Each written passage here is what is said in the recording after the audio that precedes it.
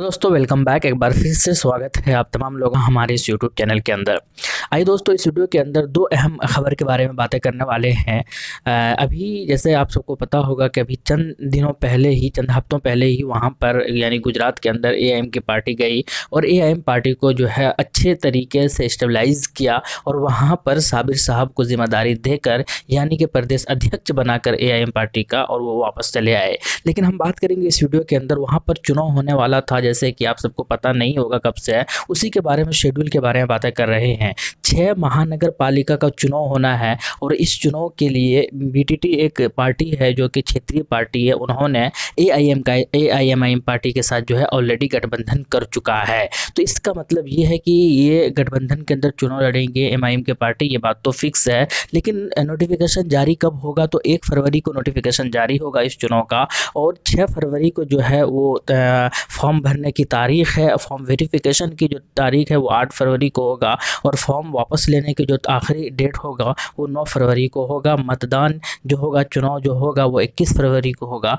और तेईस फरवरी को जो है ये काउंटिंग होना है। ये एक तरीके का एक शेड्यूल था जो कि मुझे आप तक पहुंचाना था। आप लोगों में से बहुत सारे लोग जानने की, कि ख्वाहिश रख रहे थे, पूछ रहे थे कि वहाँ पर कब, वहाँ पर नगर पालिका का चुनाव है। तो आप देख सकते हैं कि ये फरवरी के ये क्लास तक जो है आपको हम नगर पालिका का रिज़ल्ट आपके सामने होंगे और ये भी पता चल जाएगा कि एमआईएम का परफॉर्मेंस वहाँ पर कैसा है। लेकिन दूसरा जो सबसे अहम खबर है, वो ये है कि एक कांग्रेस के एक बहुत बड़े लीडर हुआ करते थे। अभी अभी थोड़े दिन पहले ही उनकी वफ़ात हुई अहमद पटेल। जी हाँ कांग्रेस के एक तरीके का स्तंभ थे गुजरात के और बहुत बड़े लीडर थे, नो डाउट पूरे हिंदुस्तान उसको जानता है। और कांग्रेस के अंदर एक बहुत बड़ी शख्सियत थी, उनका इंतकाल हुआ, उनका ही एक बेटा है फैसल पटेल। जी हाँ फैसल पटेल जो है आज कल ही उन्होंने एक इंटरव्यू में जारी किया है और उन्होंने कहा है कि असदुद्दीन ओवैसी साहब ने कौम के लिए बहुत कुछ किया है। वो कौम के सच्चे रहबर है दलितों के लिए भी वो अच्छा रहबर है और वो अपने कौम के लिए जिस तरीके से करते हैं, वो वाकई काबिल तारीफ़ है। साथ में उन्होंने ये भी कहा है कि अगर मुझे उनके साथ काम करने का मौका या सहयोग करने का कभी मौका मिलेगा तो मैं दिल से करूँगा और हंड्रेड परसेंट ईमानदारी के साथ करूँगा। तो ये चीज़ें जो है, इतना, ये चीज़ें कहना था कि बस सियासी गलियारों के अंदर जो है बहुत सारी चीज़ें चलने लगी, क्योंकि ये बहुत बड़े कांग्रेस लीडर का बेटा है, अगर ऐसी बातें करते हैं तो इसका मतलब है कि उनसे बहुत सारे लोग ऑलरेडी जुड़े हुए हैं और वो बहुत ज़्यादा अफेक्ट होंगे इस चीज़ से, क्या सही माने में असदुद्दीन ओवैसी को इतना पसंद करते हैं? और अगर सही माने में वो इतना पसंद करते हैं, जो कि सही में करते हैं, जो तो इसका बहुत बड़ा एडवांटेज और फ़ायदा मिलने वाला एम को आने वाले दिनों के अंदर। हालाँकि कांग्रेस के कुछ लोग इस इनके इस इंटरव्यू से खफा ज़रूर है, लेकिन कुल मिलाकर यही है कि एम जो चाहती थी, आप तो ये जो है, जो चाहती थी वो शायद अब उनके जो सपना थे ड्रीम जो था, वो शायद अब धीरे पूरा होने लग, होने लगा है। और यही चीज़ को लेकर खुद इम्तियाज़ जलील साहब कहते थे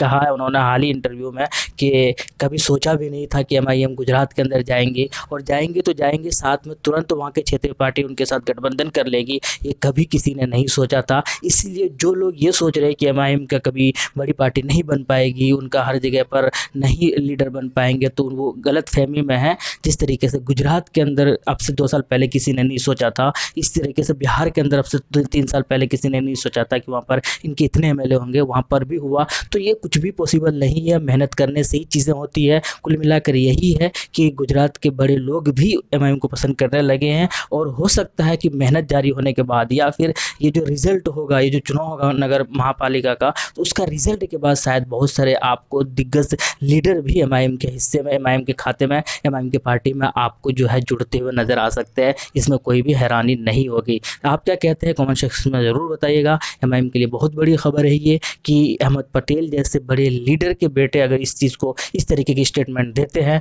तो वाकई वो सही माने में एमआईएम के लिए बहुत बड़ी फ़ख्र वाली फ़ख्र करने वाली बातें हैं। और उम्मीद यही है कि आने वाले दिनों में उस जैसे बड़े बड़े दिग्गज भी एम साथ चुनाव लड़ते हुए दिखाएँगे। मिलते हैं नेक्स्ट वीडियो में। थैंक यू जय हिंद